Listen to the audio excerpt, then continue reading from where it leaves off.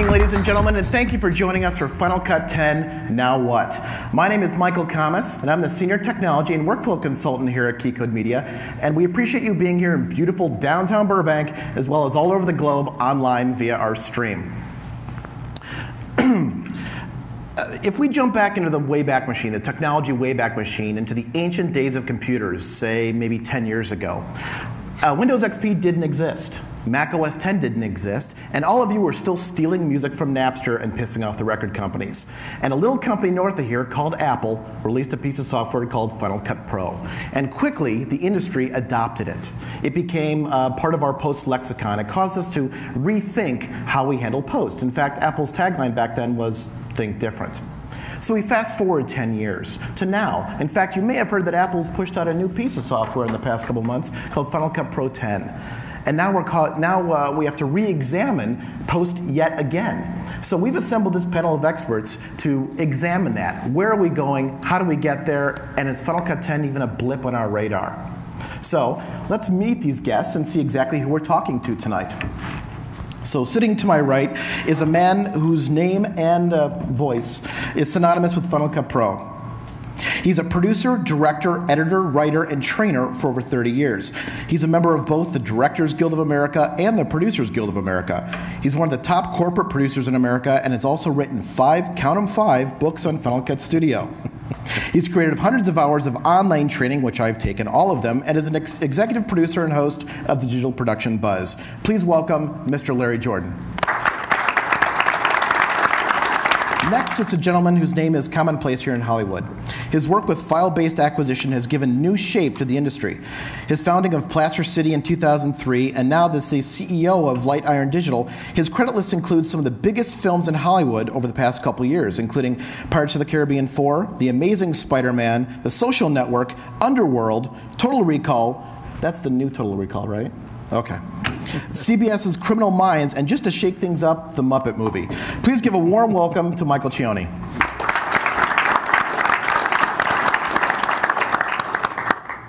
Next, we have a man who, uh, quite frankly, I don't know where the myth ends and the man begins. He's a film and music editor with a credit list including Heathers, The Cotton Club, and Oliver, uh, Oliver Stone's Wild Palms.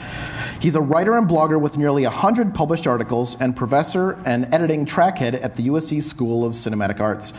He's developed curriculums and workshops for scholastic facilities worldwide, as well as major Hollywood studios. He belongs to more organizations than you can fit in a business card, but most importantly, he's a damn nice guy. Please welcome Norman Hollyn. Next, we have a man who's had the editing responsibilities for some of the most successful shows on cable television. His work was featured on The Real World, the hidden camera show Punk'd, and currently, uh, a favorite guilty pleasure of mine, Tosh.0. He not only lends his talent to editing, but also to the IT and infrastructure side, most notably the Final Cut Pro transition of Bunim/Murray, one of the largest Final Cut Pro houses uh, here in Hollywood. His company, Helium Digital, continues to edit but also consult on workflows. Please welcome the third Michael to this panel, Michael Gossen. Lastly, and just barely, we have someone who's on the front lines daily. His assistant editing work over the past few years runs the gamut. Uh, he's worked on iCarly, Eureka, which just got canceled. I'm sorry. The Cleveland Show, Project Runway, uh, Runway, pardon me, and The Hills. He also uh, has edited feature films like Punk's Not Dead and Spit. Most recently, he signed on to assist on the new MTV series Teen Wolf. Please welcome Jeremy Weinstein. So, gentlemen, let's start off pretty basic.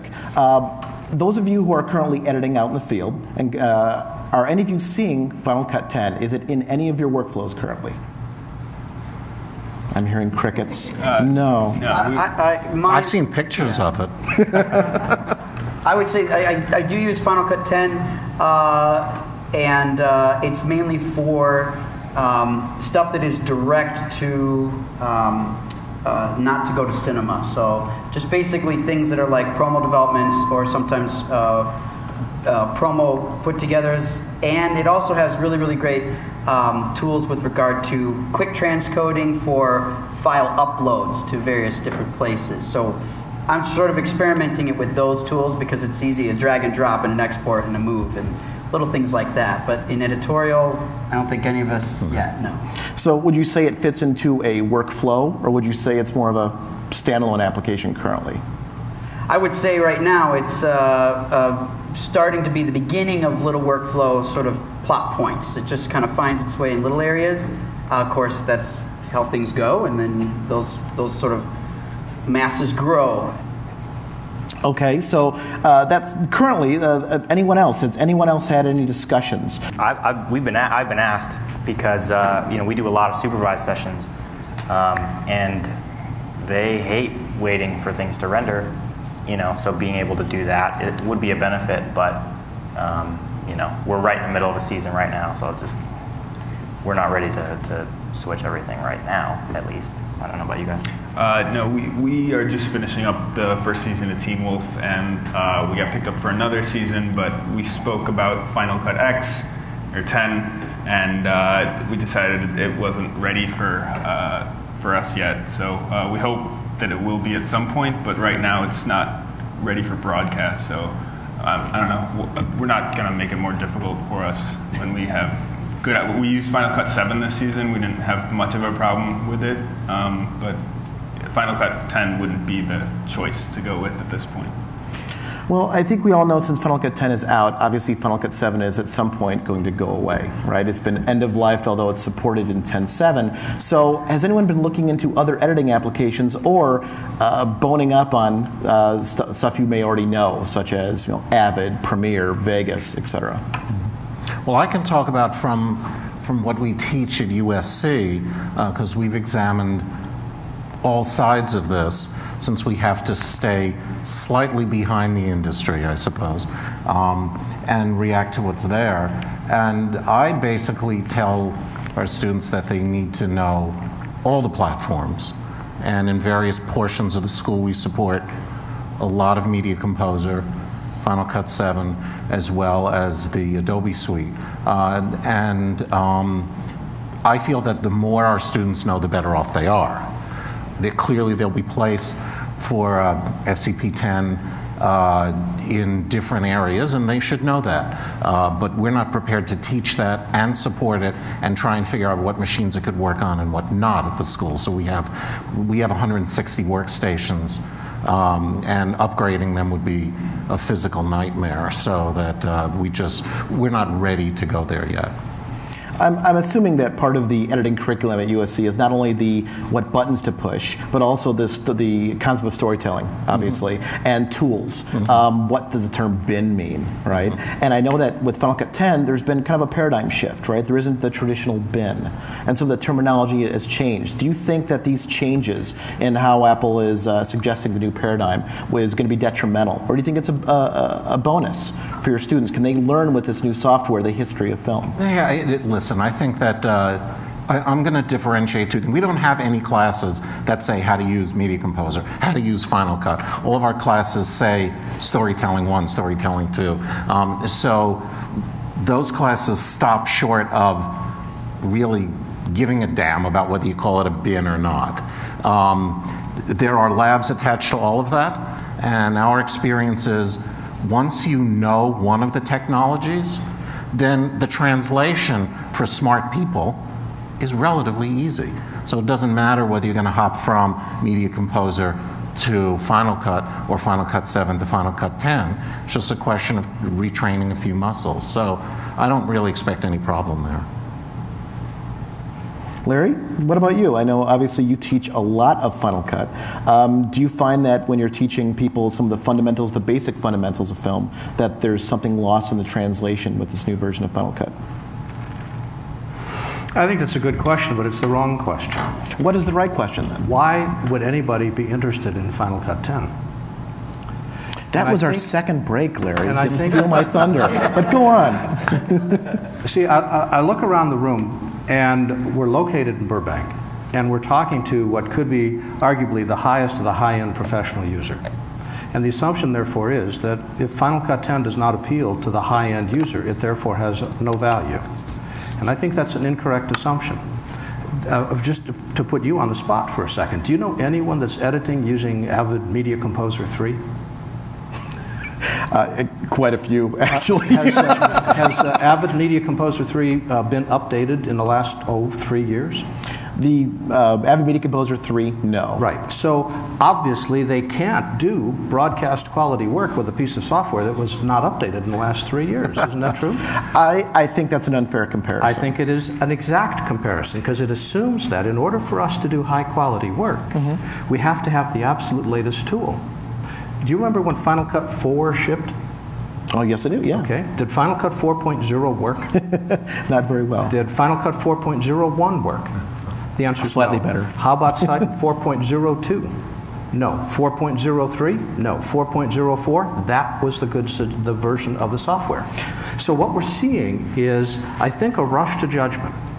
And I'm not to defend Apple. God knows they've done a great job of making my life miserable for the last several months. But let's take a look at the bigger picture. The bigger picture is everybody at this room, with me accepted and perhaps you, every one of these people are professional storytellers. I was talking with uh, a, uh, a, gentleman, uh, Alan uh, Edward Bell. Alan Edward Bell edits on an Avid, did Water for Elephants. And we were talking, because in those days everybody's saying we're switching to Avid or we're switching to Premiere. So my show, Digital Production Buzz, did a whole show dedicated to Avid and a whole show dedicated to Premiere. And we interviewed Alan. I said, Alan, does it really make a difference what tool you edit? He said, it makes me a little faster but I'm an editor. You give me an Avid, you give me Premiere, you give me Final Cut, you give me Vegas, you give me a film bin. At the end of the day, I'm going to give you the same story. It may take me longer to get there, but I'm going to get the same story. So what we're arguing about is whether this hammer is better than another hammer. For this audience, at this time, uh, Final Cut 10 is not ready for the high-end audience. And we can point to all kinds of reasons. It Doesn't support workgroups, doesn't support multicam, doesn't support uh, network file devices, doesn't do this, doesn't do that. So obviously, Final Cut 10 is not yet ready for the people sitting to my right. But that doesn't mean that it's not ready for other people.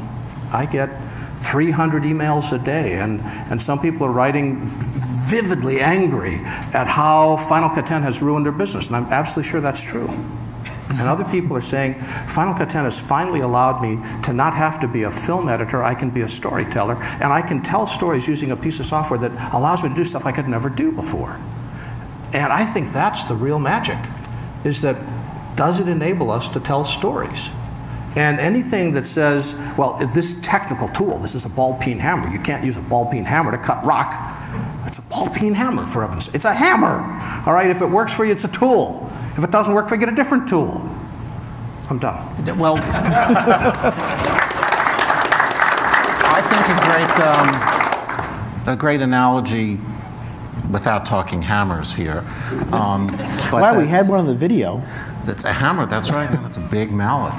Um, uh, one of the, the I, am on a uh, group of people who uh, help advise some of the nonlinear editing companies around. And uh, Avid came in early on and showed us uh, Five, when Avid 5 was coming out with this new great smart tools thing. And most of the editors on this panel, you would have thought that Avid came and said, We are going to kill each one of your children in front of you right now. Um, so, for, for people who have to work in front of a monitor with a director or producer of varying degrees of obnoxiousness over their shoulder like this, um, you don't want to change. You want the tools where they're going to be so you can be comfortable with it. Um, for people who are not working in that world, change is cool. And they will probably, and I'm not saying Final Cut Pro 10 is that great change that everybody's going to move to. I'm just saying that once people get over the idea that it's not the way it used to be, some of us embrace that. And, and it is just an evolution, as you said, Michael. Um, uh, and you get used to new terminology, you get used to new button placements. Oh my God, they took the lifting man out of Avid Media Composer. How horrible. Um, uh, eventually, you figure out that that button does something very similar. So um, I think it's really an issue of the, the manner in which you work, the comfort level with new things, um, and other people breaking ground often for you. Depends upon your market. Well, our market demands that we take a quick break. So we're going to take a quick commercial. We'll be back in a few minutes. Stick with us.